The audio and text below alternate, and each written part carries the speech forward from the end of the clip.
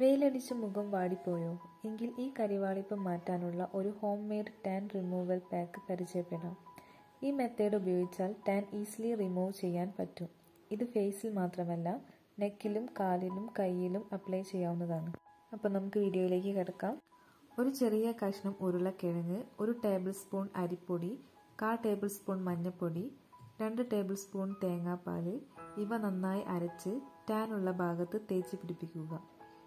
ഒരു ഇരുപത് മിനിറ്റ് കഴിഞ്ഞതിന് ശേഷം കഴുകി കളയുക സ്കിൻ ഗ്ലോ ആയത് ഫീൽ ചെയ്യുന്നതാണ്. അപ്പോൾ വീഡിയോ ഇഷ്ടമായാൽ ലൈക്ക് ചെയ്യുക ചാനൽ സബ്സ്ക്രൈബ് ചെയ്യുക.